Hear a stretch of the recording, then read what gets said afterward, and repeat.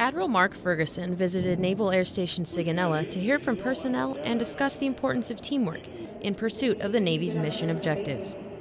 In an all hands call, Ferguson used his experiences as Commander Allied Joint Force Command and Commander U.S. Naval Forces Europe and Africa to emphasize the need for strong friendships with our nation's allies. We're working ever more closer with our partners in the Black Sea, our allies Romania, Bulgaria, and Turkey.